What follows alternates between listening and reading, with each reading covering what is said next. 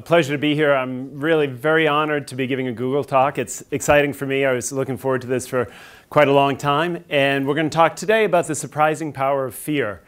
And I could have never imagined the things that Elaine had mentioned. If you look in the background, that's me actually going down uh, the, across one of the glaciers in Mount Elbrus, the highest mountain in Europe. And I could have never even imagined that 15 years ago. So I'm here to share a little bit of that journey. Before we get started, tell me who today has made a decision based on fear? Raise your hands. Okay, who in the past week has made a decision based on fear. Okay?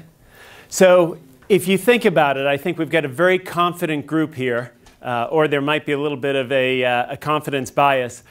If you think about the reason you stopped at a red light this morning on your way into work, walking into work, or biking into the work, was the motivation behind that fear or something else?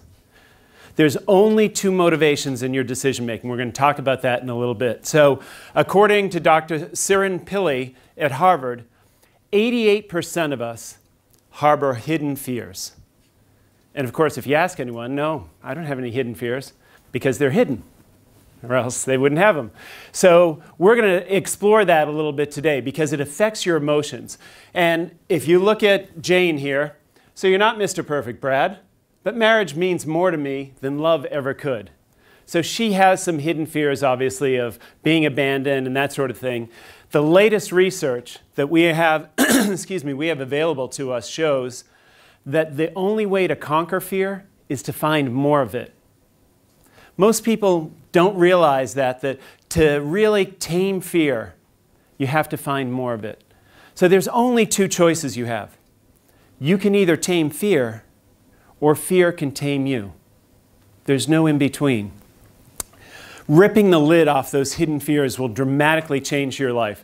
They're going to change your emotions, they'll change how you deal with your colleagues at work, they'll change how you deal with your friends and family, and they'll change how you feel about yourself. So today I'm going to go into a three step framework using the latest neuroscience that's going to help you rip the lid off those hidden fears and learn how to use that fear as fuel. That's the exciting part, is when you can get to the point where that fear doesn't become something you avoid, but rather it becomes a source of fuel for you. So it's going to make you happier, it's going to make you more successful, and it's going to bring about world peace. And I'll cover that in about 30 minutes. Now, you Googlers should be impressed because the Dalai Lama takes about an hour to get to his world speech part. I'm going to do it in half the time, so that's 50% more efficient, even though the Lama is a big hitter. So, my mission has been to bring fear to people and to help people find more of it. I've worked with CEOs, professional athletes, US Special Forces, and we found some amazing things. I'm going to share that with you. One of the things that's clear is we all have a gift, and that gift is inside. And oftentimes, fear keeps it locked into people. So, I'm going to start out today, before we get into the science, with a gift for all of you. Whenever I come to a new country, I like to do something to celebrate the culture. So I'm going to sing Frere Jacques, kind of a traditional Swiss lullaby, but I can't sing. So we're a little pressed for time. I usually ask for volunteers, but Elaine said uh, we don't have so much time. So I'm going to pick five people from the audience to come up and sing with me. And I'm going to start out with you, sir, in the gray shirt. Ma'am, you with the, the kind of cranberry colored shirt back there. And ma'am, back there with the, the flowered shirt on. Yes, please, come on up. Yeah, come on, come on right up here. And sir, with the glasses on, please come over here. Ma'am, even though you're not looking at me, I can still see you. Come on. come on up. You'll be our last one. Okay, now we have these five folks. Uh, if I could ask your name. Andres. Andres. Jana. Jana. Maria. Maria. Sander. Yep. Juana? Andrea. Andrea. Okay. So we've got these six folks up here who either are going to become the stars of Google because this is going out to hundreds of thousands of people who'll see it all over the world, all over Google's organization, everywhere. So they're either going to be tremendous stars or they're going to be looking for work, looking for a new spouse and partner, and living in some shack in the woods because they embarrass themselves so badly. So Don't think about that though. What I want you to think about is just what we're going to do. Okay, come, come on in a little closer. On three, we're going to one, one, two, three. Frere Jacques, Frere Jacques, dormez-vous, dormez-vous. You all know that, know the words, right? Okay, so we're going to start out. One, two, three. oh no, I can't believe you guys thought I was actually going to make you sing. Okay, nobody's going to sing up here. And if you're in the audience and you are thinking you might get picked, I want you to stop right now and answer the same question I'm going to ask these guys. How do you feel? How do you feel? Relieved. There you feel relieved. A second ago, a second ago, how did you feel? Let's say before you felt relieved. How'd you feel? Um, ridiculous. Ridiculous, okay. And when you say you felt ridiculous, where in your body did you feel ridiculous? Can you pinpoint where? In my mind. In your mind. Can you pinpoint a physical location? No? Okay. Who else who else felt nervous or embarrassed? Okay. Well, we've got every, so let's uh, let's start down here. Where did you feel it? I am all shaking.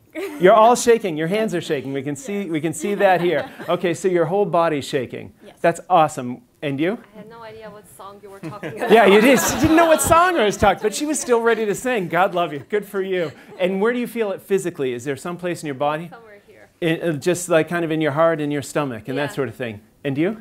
Uh, I don't know. uh, Tight, tight jaw, tight shoulders, yeah, may, maybe also trembling a bit. trembling in the in the knees. Yes. A little Elvis leg, right? You can't get the leg to stop. Okay, well, give them a round of applause, please. Have a seat. Thank you very much. So, if you were in the audience and you were afraid you were going to get picked, what I want you to think about is where you felt it. Stop for a second and think physically where you had it. Do we have any poker players in the room? Anyone who plays poker? No? Does anyone know what a tell is?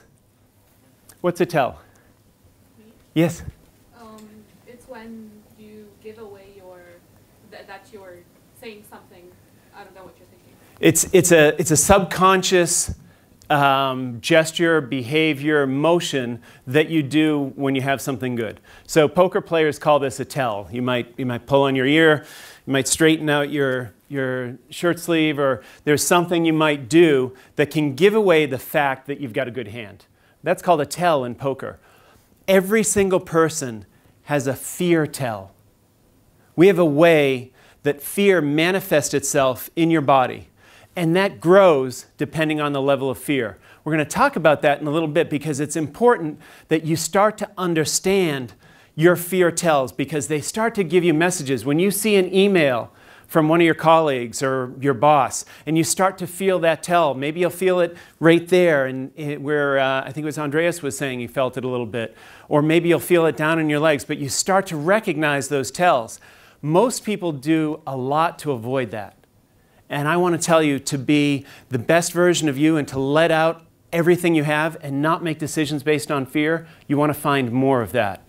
So it's, it's taken me an awful long time to figure out the neuroscience behind it because I've interviewed over 35 leading neuroscientists from MIT, Harvard, Tufts, Trinity, all over the world. And some of the technology we have just in the past five years has allowed us to have a look into the brain and understand how some of this works. I had a hidden fear, and I didn't recognize it until it was almost too late. Elaine mentioned that I had started a few technology companies. So I was a CEO of a venture backed company. We were really hot and successful in the software space. And I was working 70 or 80 hours a week, typical VC backed type of CEO. And I was going out every night to these networking events and CEO events and, and private equity events. And I was drinking six or seven beers every night when I went out. And then I'd come back at about midnight or so, and I'd feel guilty. It's that whole Irish Catholic thing, right? Like, you're a redhead, you get that. So it was crazy. And I woke up one morning, went to the gym, just like you guys probably do here. Went into the gym. Hey, Swain, how you doing? Good. Gonna work arms today. Started working arms. Ooh, boy, that arm hurts a little bit. All right, well, I'll just do a little cardio, get on the machine. Then the next day, I got in, woke up, same thing, starting to feel really bad. And I thought, wow, I should go to the doctor and get this checked out. And I didn't. Can anyone guess why? I was afraid to go to the doctor. Yeah, yeah, I was afraid to get the bad news. Third day, woke up, I could barely move the arm. I said, I got to go to the doctor now.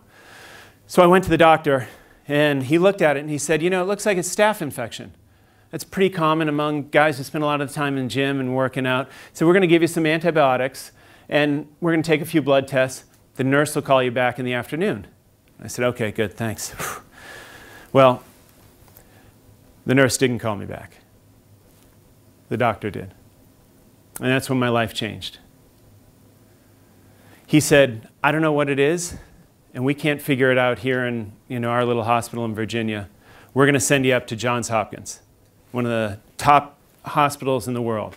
So I got the express ticket to the Johns Hopkins mat- matinee for leukemia patients. And I went up there and I got checked in, and I got put into this bed, and I had a one year old daughter at the time. And I had uh, my wife, who was six months pregnant, with me, who was just white as a ghost, stressed out as you could be. I had more tubes and wires plugged in me than the space shuttle just about to lift off. And I'm sitting in this bed, and all of a sudden, Dr. McDevitt walks in. He takes two steps inside the door, looks across the room. There were three kids behind him who I thought were the kids he must coach in the soccer team after work because they didn't look a day older than 12. And he stopped and he turned to look at them. And he said, Oh, wow, this is really interesting. This guy's T cells went rogue and started attacking the rest of his white blood cells. He's got no immune system. And he's talking like I wasn't even there. I'm like, Hey, doc. Yeah, but the good news is I got the first colonoscopy in the morning. And he didn't even laugh. He came over and he sat down and he said, Look, we're going to do a lot of tests. We're going to try and figure some of this stuff out, but are your affairs in order? Now, I'm no Doogie Howser, but when a doctor asks you if your affairs are in order, you're pretty much screwed. Does anyone not know who Doogie Howser is, by the way? Oh, God, I hate all you people. You missed the Dalai Lama joke, too, from Caddyshack. Does anyone know any 80s trivia? Who knows the 80s trivia? Stay with me. Someone. Anyone? Okay. All right, couple people. All right. Doogie Howser was a a prodigy doctor who was like 12 years old as a doctor. So, so anyways, they started figuring stuff out, and it didn't look good at all. It was a really rare form of leukemia. I had no immune system, and my body was being attacked con- constantly. I sat there, and, and like uh, Elaine said, I had spent five years training for the Olympics. My first Olympic trials, I finished 14th. The second Olympic trials, I finished second. The difference between those two was I did a ton of mental training. I was in Colorado Springs at the US Olympic Training Center learning how to use my mind to get my body faster. So when I sat in there in Hopkins and they were telling me there's not much they think they can do and they've never seen something like this before, I said, okay, well, there's something I got to do. I sat there day and night imagining these warrior cells coming out of my body and attacking those rogue T cells. And I just sat there and I envisioned it day in and day out for two weeks, my body building up these warrior cells. And I had the greatest doctors in the world, and I kept doing that. And not to give away the ending, but I died. I didn't die, I'm here. I lived. And when I got out of the hospital at Hopkins, I walked out, and it was in the worst part of Baltimore. It's in a ghetto area, it's really run down. And I walked out and I saw this leaf in a puddle. And it was red and tinged with gold around the outside. And I would have never even stopped before this all had happened. I stopped and I looked at it and I thought, wow, that's really beautiful. I know it sounds cliche, but it was like this gratitude switch got flipped on in my head. And all I could think about was how awesome it was to be alive and how much I had wasted my life worrying about fear being afraid of everything. And I didn't even know how afraid I was of all the things that were going on in my life until I got out of that hospital and I faced my real fear. When I faced that real fear, I realized fear was a fraud, complete fraud. I found this study from Cornell University called the Legacy Study. What they did was they interviewed thousands of people between the age of 70 and 109. And they said, We want to collect the wisdom of our elders. So they asked him a bunch of questions, asked him for their best advice. There was only one thing of the thousands of people that was common among just about all of them. And that was that they wished they had spent less time worrying. They wished they had spent less time in their life in fear. Because fear is all about the future or something bad that happened in the past.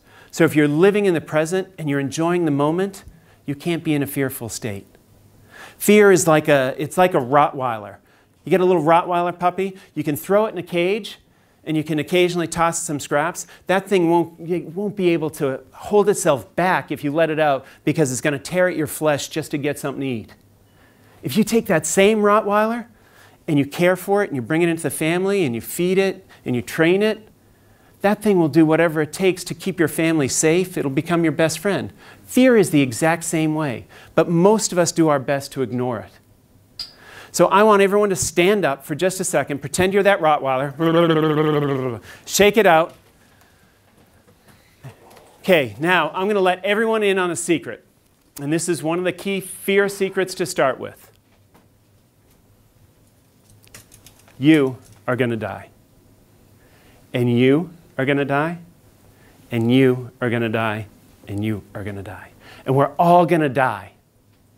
I want everyone to repeat after me I will die. Louder, I will die. One more time, I will die. Okay, now is anyone unclear about that? All right, sit down because now we can live. Now, if you're afraid of dying, and that's one of the biggest fears in the world, no matter what your spirituality is, there's no argument. We're going to go back to wherever we came from. So I want everyone to close their eyes for a second, especially if you're afraid of dying. And I want you to think about yourself dying right now. If you're afraid to get up here on stage and be embarrassed or feel ridiculous, I want you to think about that right now. All of those things happened in your mind. That was a movie you played in your mind. And fear is always a horror movie. So think about the worst movie you can think of right now standing on the edge of a cliff getting thrown in water with a bunch of great white sharks. Whatever your biggest fear is, think about it now and try and feel the sensations in your body that are changing. Feel where you're feeling it in your belly, in your hips, in your chin, in your jaw, in your knees, anywhere you're feeling that. Now, here's what I want you to do when you feel that for the next time. Take a deep breath in to a count of four, hold it for a count of four, and let it out for a count of four. In, two, three, four. Hold it. Two, three, four. Two, three, four. In. Hold it. Two, three, four. Out. Two, three, four. If you keep that rhythm up, when you get in a fear state, I'll explain a little bit of the science behind it. You change from having an erratic heartbeat, which, if you looked on an EKG, is a heartbeat that looks like a silhouette of mountains, to having a coherent heartbeat which is just a nice sine wave. That allows you to take over your sympathetic nerve system again because it gets hijacked when you get in a fearful state and you stop thinking correctly. Just that breathing, that four by four, is a great way to get you. So, the first step in this three step framework is to start to recognize your fear tells. Start to figure out what your body does so you can, you can take control over it and you can get back in control. So I was terribly serious about the world peace part. I think if I can teach millions of people to tame their fear, we can have world peace. Because I believe what Gandhi said. He said, hate isn't the enemy, fear is the enemy. And if we can all understand fear and learn to tame it and use it as a fuel, we can get to a place of world peace. So, to understand fear, you have to understand what I refer to as a fear frontier because we've got a battle going on inside our brains. I call it the battle of the brains, and it has to do with two primary glands within your brain. The first one is the amygdala. It's a little almond shaped gland that sits at the base of your brain, and it handles the three F's. Anyone know what the three F's are when you get scared? Fight is one. Anyone else? Fight, flight. The third one? Freeze. exactly. So the amygdala is what controls the fight, flight, or freeze response. So that is the gland that, that saves us from saber-toothed tigers and woolly mammoths. It's been there since the beginning of time. What we didn't realize was that jumping at the first sign of rustling grass or freezing like a deer in the headlights every time someone made a loud noise didn't exactly make us the best dinner guest. So, over the past 50,000 years or so, we developed something called the prefrontal cortex. And the prefrontal cortex is the adult supervision for the brain. What happens in a normal state, when we're sitting here right now, the prefrontal cortex is in charge, for most of us, anyways. Not for me, because I'm scared to death being up here talking to you guys. But the, the prefrontal cortex, you can see here, handles your world when you're chilled, when you're maybe a little bit uneasy. But then when you start to get high on the anxiety scale, on the dread scale, all the way up to terror, the amygdala takes over. And the amygdala is only making up stories about fear. You can't measure fear. You can measure risk, right? Risk is of the, all the people in this room in our lifetime, there's going to be seven people in this room who die of, of uh, car crashes. If we took this same size room and we multiplied it times 50 times, we'd find one person who would die in a plane crash. That's risk. We understand that. That's data driven. Fear is different for all of us because it's not, it's not real. It doesn't exist. We make it up in our mind. It's almost like risk is on one end of the solar system over here in Mercury, and fear comes out of the other end of the solar system from Uranus. That was a joke. That's why my 10 and 11 year old boys love my jokes when I throw them in the presentation. The truth is, fear is a joke. There is no real basis for any kind of fear. So if we can learn to take this prefrontal cortex and bring it over here and make it in control when you're doing it, this is exactly the kind of courage that special forces train for. And they do it in just one realm, and they need to do it in three realms. I told you there's two ways to make decisions. One is based on fear, the other is based on opportunity. If you think about every major decision you've made in your life, to come to work at Google, to move to Zurich, to uh, get in, in a serious relationship, any major decision you've made in your life, you've made it either out of fear or out of opportunity. Out of opportunity comes growth and gratitude. And those are the two pillars for happiness. That's why understanding fear and taming fear can make you happier. I mentioned my two uh, 10 and 12 year old boys for a reason when I was talking about the amygdala. For anyone who has children, or anyone who's a teacher or who's working with kids who are under 25 years old, this is critical to know. The amygdala is fully developed at birth. So they have the fight, flight, and freeze response when you're born, because that saves you from the charging woolly mammoth. The prefrontal cortex, that doesn't get fully developed until most people are in their mid 20s. So think about that when you're in a situation where all of a sudden a kid starts screaming and you can't figure out why, why you know, why can't you just think rationally about this? Because he doesn't have the capability to think rationally yet. So someone who's under 25 needs to be trained to create the connections between the prefrontal cortex and the amygdala so that prefrontal cortex can take control. And there's three things three types of fear that we're going to address here. But the important thing is, even after you're 25 years old, you can still change, you can still create courage because of something called neuroplasticity. Neuroplasticity has only recently been proven with some of the new technology we have, but basically, your mind can change at any age. And that's what happened to me when I finally faced my fear frontier. So, what I'm hoping everyone here can do is figure out what their fear frontier is and move that out. And the further you move that fear frontier out, the more in control of your life you are and the happier you're going to be. If you understand the three fears that exist, number one is physical. So, we talked about US Navy SEALs, and I've worked with them in the past, and they are tremendous in terms of physical courage. And what they do is they've got this courage factory in Coronado, California called Basic Underwater Demolition School, or BUDS. And SEALs go there for six weeks. They take, the, they take the strongest and bravest candidates from the normal Navy and they bring them to BUDS. Now, it's not surprising the average age of a Navy SEAL going through BUDS is 21 years old. Right? So they're getting them before that, that connection is fully developed.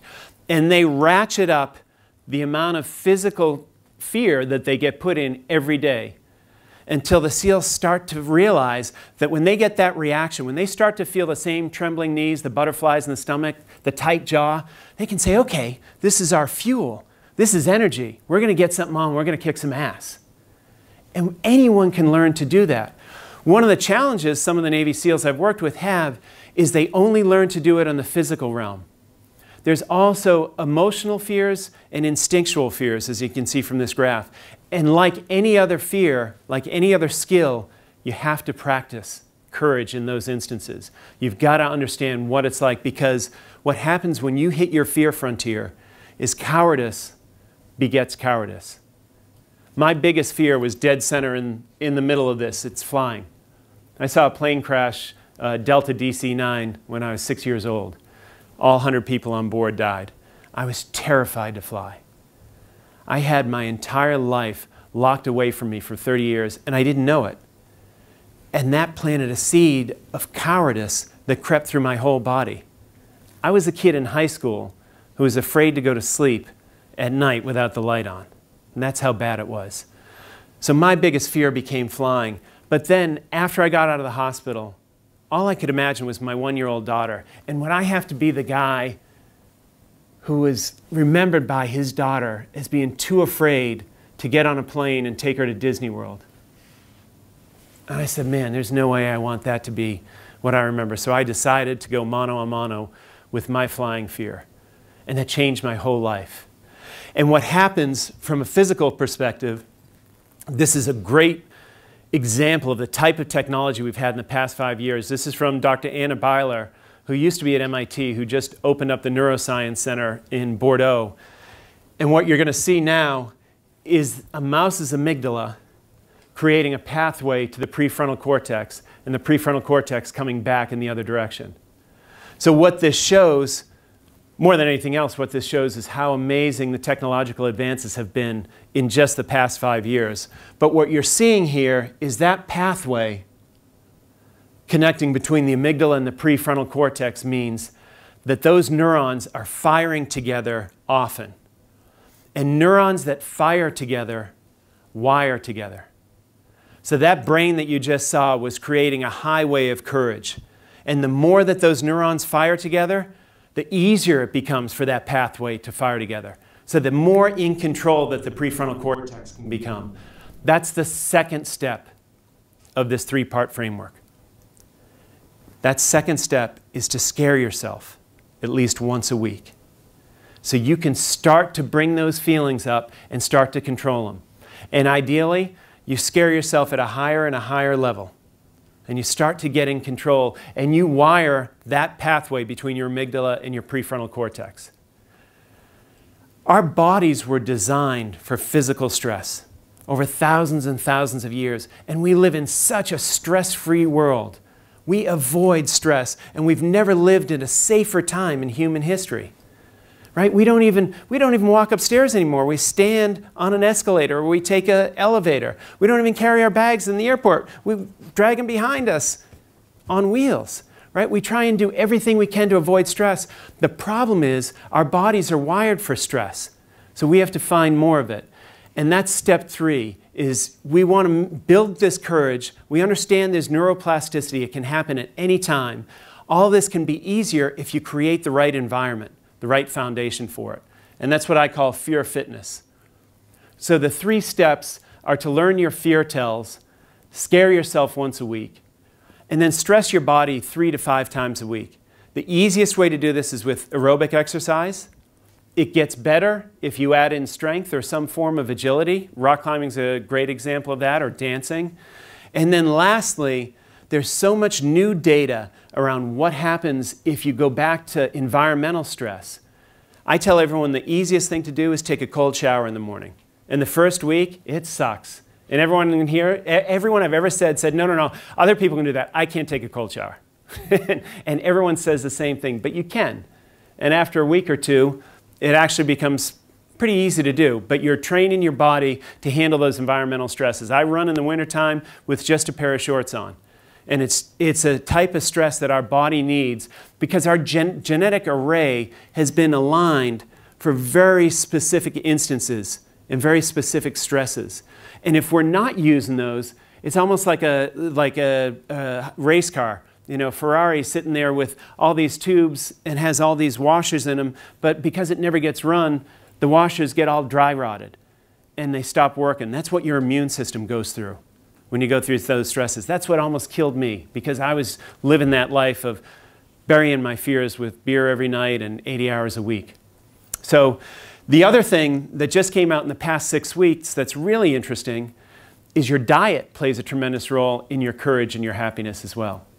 So, if you have the right gut bacteria, if you eat yogurt and sauerkraut and kimchi and the things that develop the good bacteria in your gut, it's quicker to shut off your amygdala. So it makes the circuits to turn the, the fear response off much quicker. And that's data that's just come out literally in the past six weeks. So there's so much amazing stuff around how to live a courageous life. Now, what I want to do, that's the, the three step framework. I want to give you the five fatal fears that we see a lot in corporations. So you can use this to become authentic, courageous leaders. And this is from, like Elaine said, working with a lot of CEOs throughout the world and a lot of government organization. We've seen five fatal fears that are, that are pretty prevalent. First and foremost is the fear of the unknown. You see this a ton in mergers and acquisition, right? When people acquire something, they say, okay, uh, you know, we, we want to keep the status quo. It's called a status quo bias. You also see it in market leaders too. Kodak is a perfect example. Kodak was such a huge, successful company, and they said, Well, we don't know anything about this, this digital revolution. We're not going to do anything. We're not going to get into it. We're going to sit back and see. So, fear of the unknown. The second is fear of rejection, or fear of rejection from the tribe, is what it boils down to. The only reason anyone would feel ridiculous standing up here about to sing, nothing, change, nothing changes in your world. There's, you're no in, not in physical danger. There's no reason that you should have any reaction except we're programmed instinctually to stick with the tribe because it's safer. 100,000 years ago, if you got rejected from the tribe, that meant certain death. You couldn't live. Today, it doesn't mean that at all. Today, oftentimes, in fact, it means you're, you're an innovator because you don't want to be stuck with groupthink or the sunflower management that some people refer to, which is, which is just like you, you do whatever the leader wants you to do so you can keep him happy or her happy. So it's crazy. Uh, apophenia is the second one, or the, sorry, the third one. Apophenia is finding patterns where patterns don't exist. This is most easily seen when someone has had a few successes and they get what's called the, the winner bias or the success bias, and they aren't given the same scrutiny or their projects aren't given the same analysis that other projects were because maybe they had one or two successful ones. The fourth one is a atychiphobia, and that is basically the fear of failure. It, it, comes down to something called a stability bias. We see this more times in careers than we necessarily see it in companies, but we see people who have a tremendous skill set and they don't want to do it because they're afraid they might fail and they have something good already. I use my brother every now and again as example because he's such a great artist. He's a federal agent and he does law enforcement for the US government from 9 to 5. He's pretty good at his job. He rushes home to build custom motorcycles. And he spends all weekend at swap meets and going to shows. And he sold his motorcycles in Japan, all over the US, throughout Europe, and I've said to him a bunch of times, Sean, you ought to do that for a living. You've been making millions of dollars doing what you love. It's, ah, no. I got 15 years and I'll get my pension and then I can do it full time. And I see that all the time, and that's the fear of failure. People are looking for that stability. If you ever hear someone saying they're working for the weekend, right? I can't wait for the weekend. It means they have the wrong job.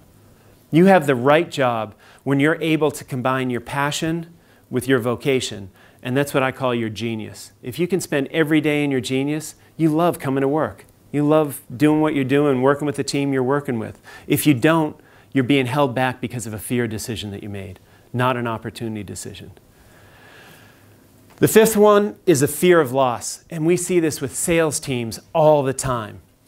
a lot of sales guys will come from meager backgrounds, families that, that maybe never had gone to college, never made a lot of money, and they'll start making $150,000 a year, and they'll buy the Porsche, and they'll join the country club. And these guys start to get pushed from their, their VP of sales or their CEO. They say, okay, you can do way more than this. And they could. They could do million dollar years. They could really have an incredible life that, that they only dreamed of. But all of a sudden, when they hit a certain level, they think, what if I lose the Porsche? What if I lose the big house? What if I lose the country club? So we see this a lot with sales guys having fear of loss. And again, it's, it's a decision based on fear, not on opportunity. So I'm going to share one more tool that I put up on the web uh, for you guys.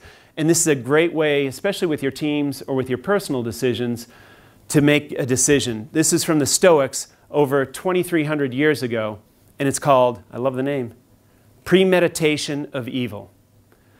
So when you get trouble or you get scared, a lot of people say, oh, go to your safe place, go to your happy place. That's the worst thing you can do.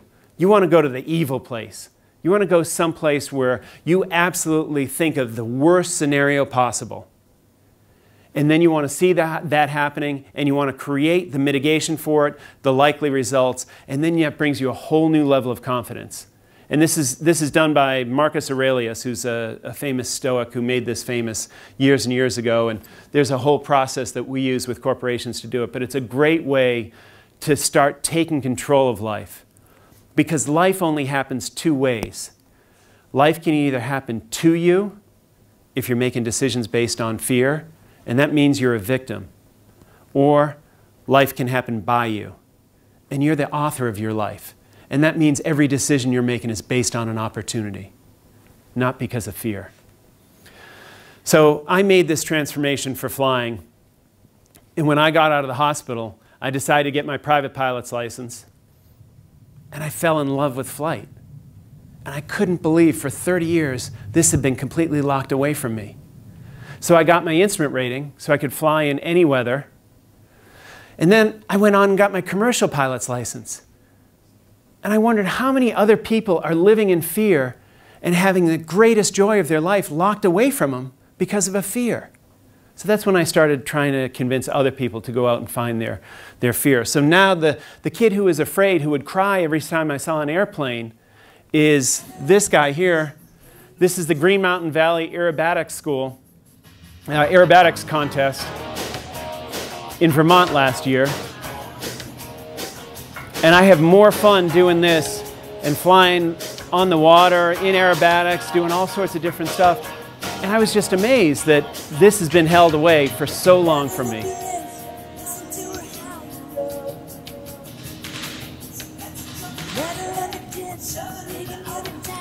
And if you ever get scared of heights or anything else, let me know. I'll take you up for a flight. This, so I got second in this aerobatics competition last summer in Vermont. And I know someone out there is saying, well, if this fear stuff works so good, why didn't you get first? So you try pulling five Gs with your stomach trying to duck out of your sphincter and let me know how easy it is, because it's tough, but it's so easy. And I would have never known. I would have been hidden away. I would have never traveled to, to all the places that I travel. I would have never done all the stuff that I do with my fear. So what I'd ask you is, what is holding you prisoner? from your greatest joy? What fears are influencing the decisions that you make? So now I got one last thing. I want everyone to stand up one more time. And we're going to take the courage code together. I want you to raise your right hand and repeat after me. I will scare myself once a week. I will. Very good. I will extend my fear frontier. I will face life with courage. I will make decisions based on opportunity. And I will lead with bravery. When you do, I promise your life will change and you'll have such an amazing life. And what's in here will come out to share with everyone else. Thank you all very much. I'm Patrick Sweeney. Good night.